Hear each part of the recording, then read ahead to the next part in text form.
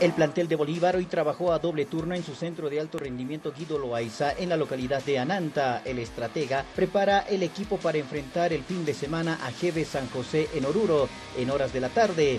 El técnico también dio a entender que el portero de Sábato igual tendrá su oportunidad en este encuentro amistoso. Por su parte, el nuevo defensor uruguayo Renzo Orihuela también se estaría mostrando ante su parcialidad celeste. Aún se hace esperar el nombre del nuevo volante académico y último refuerzo del plantel celeste. Mientras tanto que desde Ecuador se conoce que el Emelec busca rival para un partido amistoso que se jugaría el 10 de febrero en Guayaquil, donde el club ecuatoriano estaría mostrando su modelo 2024 a todos los hinchas eléctricos, pero desde Bolívar no se les presentó ninguna invitación para asistir a dicho evento.